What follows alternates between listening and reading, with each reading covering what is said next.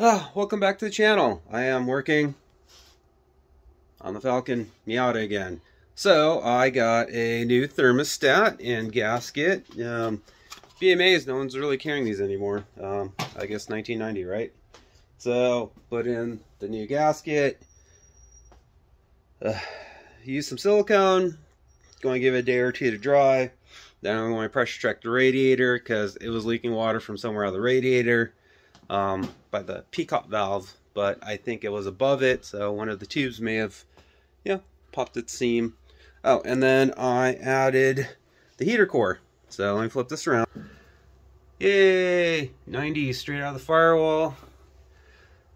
That tube there is from a Honda. Does a nice, uh, you know, 180, and that's just normal 5 8 heater hose. It's a nice sweeping bend. So it made the made the bend, no kinks.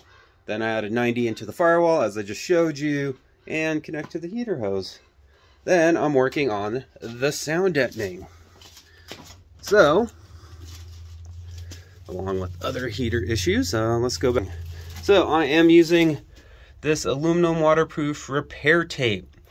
So this stuff, Home Depot, Lowe's, whatever, it's six inches by 25 feet.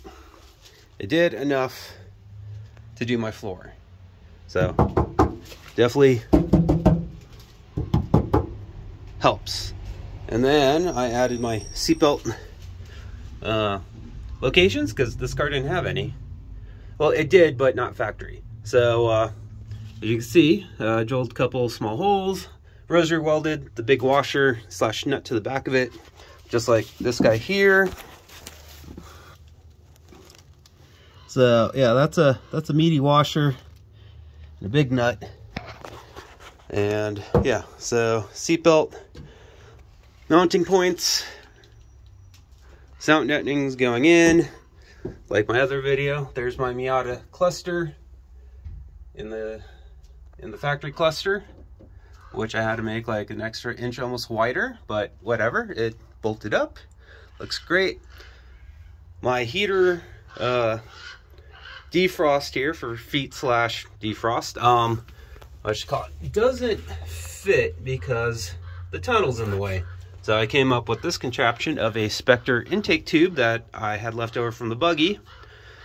Cut the end off. Um, put some screws through it, as you can see. So, and then some, you know, high temp aluminum tape. So that should be fine. And then I'll probably throw a coat of paint on it.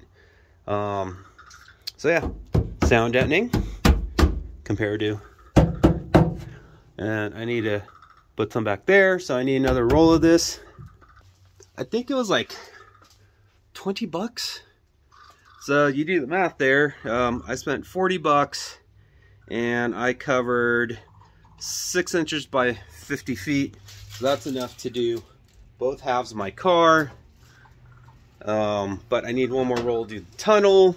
And then, you know, um, just like my buggy, I might do double layers because in certain parts there was definitely way more sound deadening um, in other spots. Oh, and you should probably use a heat gun. So I got this ancient uh, Black & Decker, but it works. Um, so the stuff, when it's cold, because it is like 60 in the garage, no, we're actually uh, 50s. So, it's not really tacky. So you heat it up with the, the heat gun there until it gets shiny black. It becomes tacky. Don't get, get, get too carried away because it does melt and get really, really sticky and starts pulling apart. But you just need to heat it up, roll it on, apply some more heat, then rub it in with a, you know, damp towel maybe, and boom, you get sound deadening on the cheap. Or, you know, if you're a baller, you know, go get the, uh, oh, what's that paint? I forget what the paint's called. But, uh, yeah, they sell uh, sound deadening paint, but it would have been like 800 bucks for that shit. So I decided to go the cheap route. And I, in the past, have bought Henry's roofing membrane that was one foot by 40 but they didn't have that this time but they had it with the aluminum tape so there's some more uh, heat uh, uh, deflection. And I'll probably put some inside the, the quarter panels and whatnot because there's nothing there probably anyways. But anyways, uh, thanks for liking, subscribing. Hope you're liking how it's coming out. Um, till next time, uh, happy holidays, Kwanzaa, Hanukkah, Christmas, New Year's, whatever other holidays there is if I don't have a channel or another video on the channel by then. So peace out. Take care, people.